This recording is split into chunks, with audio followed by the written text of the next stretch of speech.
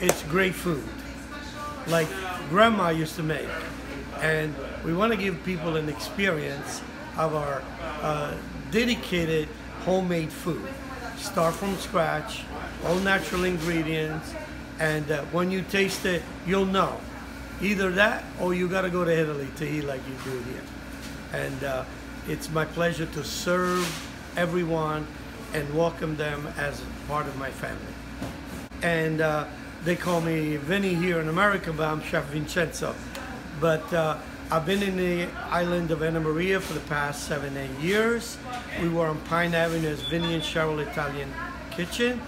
Now is here in Holmes Beach, 5337 Gulf Drive, and it's on the Vinny Italian Kitchen, the Little Italy in the heart of Anna Maria.